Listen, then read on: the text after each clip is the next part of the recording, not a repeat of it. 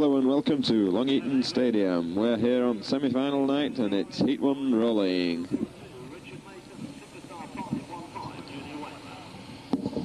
Two-star men, Junior Wainman and uh, 202, Richard Mason at the back. Not quite a big field of cats, but Phil Bicknell's at the front with his brand new spanky machine. And they're away and racing, are they? Yes, they're off. Phil Bicknell is taking the lead then on the early running, and we've lost somebody down there. We're getting a bit of uh, argy and somebody is in trouble and almost rolls right over down there. Looks like it's a 134 Wally Pidham car. And it's uh, Ray Williams who's taking over the running at the front now. Somebody gone out wide there, look like it is the Bicknell machine. Junior Wainman moving up through the field. Pidham again in trouble. Steve Jacklin there, he's uh, slowed down and looks like he's uh, moving to the infield. And uh, Williams has lost it down there on turns three and four. He's been clobbered there by 338. That's Chris Broxop.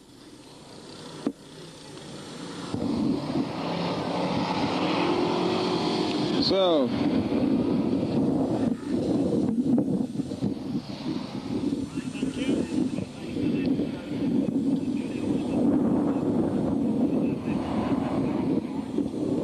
looks like it's uh, Dave Willis who could be leading then.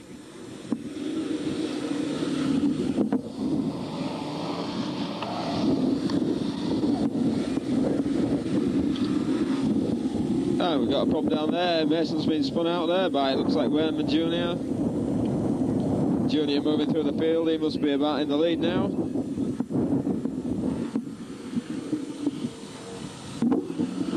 And uh, Wally Pidham still in all sorts of troubles in this heat one. Looks like it's uh, definitely 515 Junior Wainman who's leading then.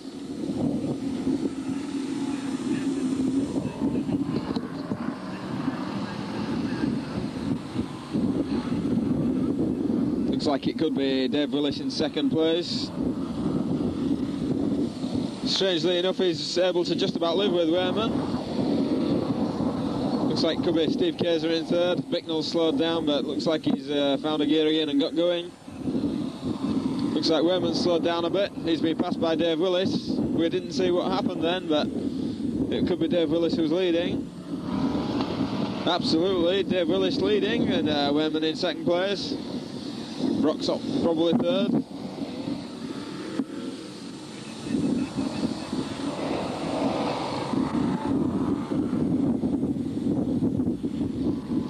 So what happened to Wainman? Broxop behind him. Wainman not seem able to uh, make any inroads onto uh, the lead of Dave Willis.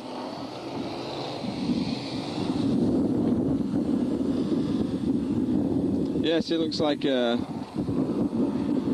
he's slowly starting to catch Willis up. And uh, Broxop's just gone spinning backwards into the fence down there on turn three and four. And somebody else has just gone whacking in the fence down there. That's 410 Paul Lowe. And 380 Steve, Steve Kaiser.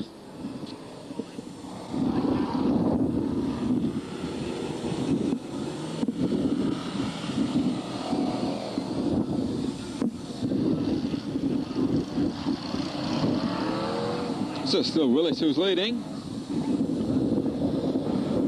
Looks like Mason's not doing uh, very well in this race. Although he must be quite well up. And now Wainman's back up with Willis. Getting to the closing stages now of uh, Heat 1.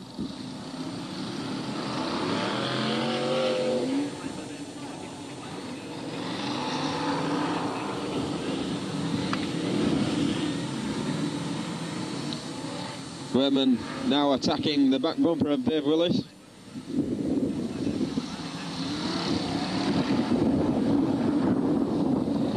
Comes in with the big one, moves him out wide and uh, takes the inside line and moves through into the lead. Willis out wide.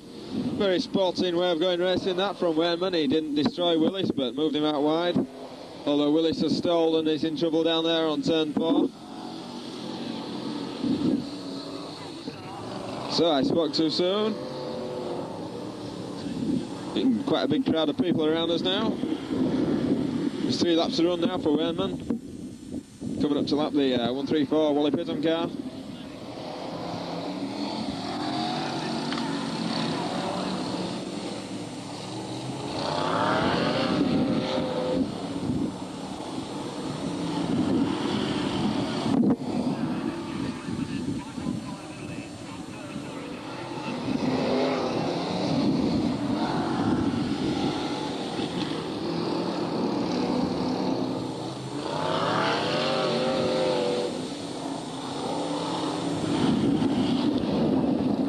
More lap now for Frankie Wainman Jr. in 5 on 5.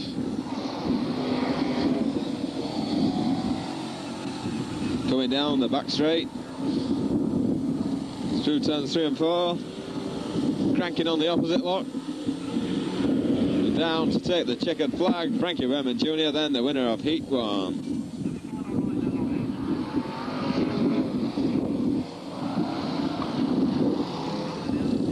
Still, Steve Kayser in trouble then, even though the checkered flag has dropped. So, Wainman the winner then of Heat 1.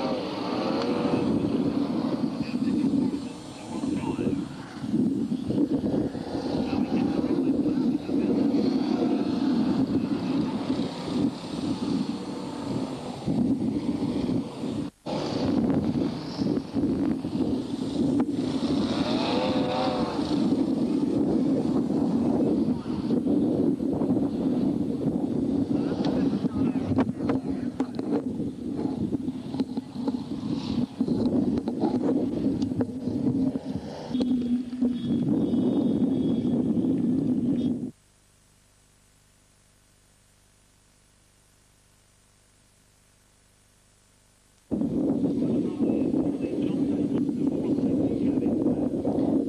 cars are rolling now for Heat 2 on semi-final night here at Long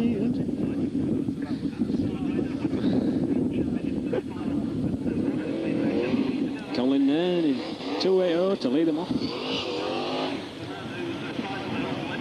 Going round 3 and 4. Pace begins to pick up now and the, uh, the green flag goes down. It's uh, Colin Nairn in the lead. First of the blues is Steve Smith. Uh, first of the yellows is Steve Smith. First of the blues is Murray Harrison and it's Dave Beresford and Pete Falding up the back. Phil Wilton goes off there. John Sage spins in front of everybody.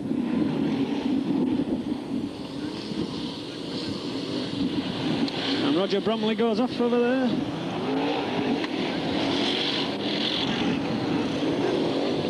But it looks like uh, Steve Smith in the lead. Colin Nairn doing his usual crashing thing.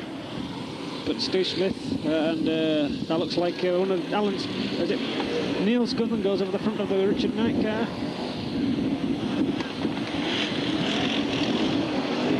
But it's Steve Smith from, it looks like uh, could be Richard Knight and Wayne Handley in third place. Uh, there we go, there's your leader. Car number 40. Richard Knight second, Wayne Handley third, Glenn fourth. We got 116 off there, spun it round. It could be the old uh, Richie Thornton car. Upscriven spins to try and avoid him. He's in a bad position there, it's a 116 car as he pulls it off there.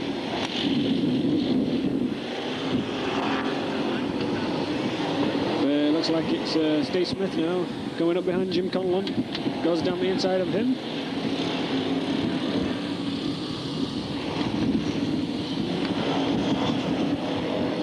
Phil Wilton spins on the back straight.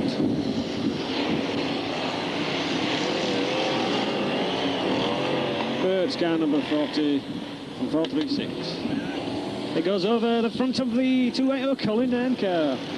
And it looks like uh, Wayne Handley takes the lead. But, uh, Richard Knight into second place. Colin Nairn causing trouble again. Wherever there is trouble, Colin Nairn is there. So it's Handley from 436 Richard Knight. Looks like uh, Murray Harrison in third place. And the 116 car pulls off over there. But it's Handley from 436. Looks like he's actually catching him. Beresford is pre- pressuring uh, Falding.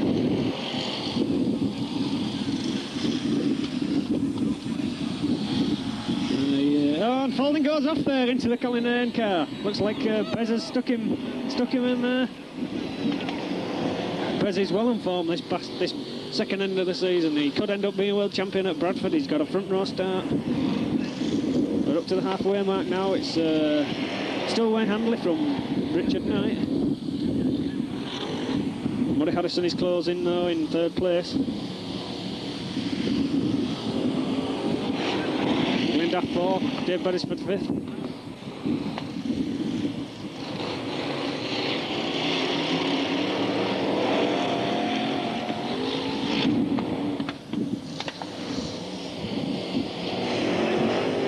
And Falding Poor has pulled off there and it's to grey with a flat front tyre.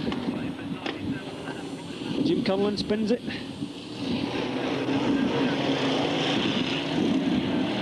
Covers the crowd there with Shale. But it's a close finish three now, first three. Can Murray Harrison stick the bumper in on Richard Knight, goes down the inside there, catches up and Wayne Handley goes off and Murray Harrison takes the lead. So it's Murray Harrison now from 436 Richard Knight and 96 Linda. And Beresford has gone off over there as well. So, so another red top off. Is he going to get it? No, he's, he's retiring to the centre green. So, there's uh, not many cars left in this race now. Think eight cars running at the moment. But it's uh, Murray Harrison in the lead from Richard Knight.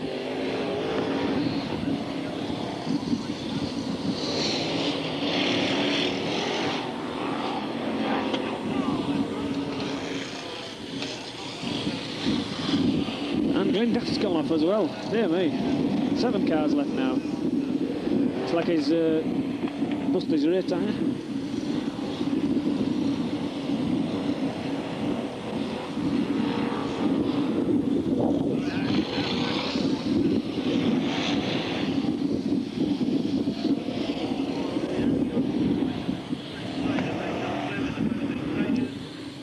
Coming a bit of a, a powering race now. Not many cars left on this on this track. Murray Harrison coming up behind Mark Webster. And he takes a checkered flag. Murray Harrison wins the second heat here on semi-final night at Long Eaton.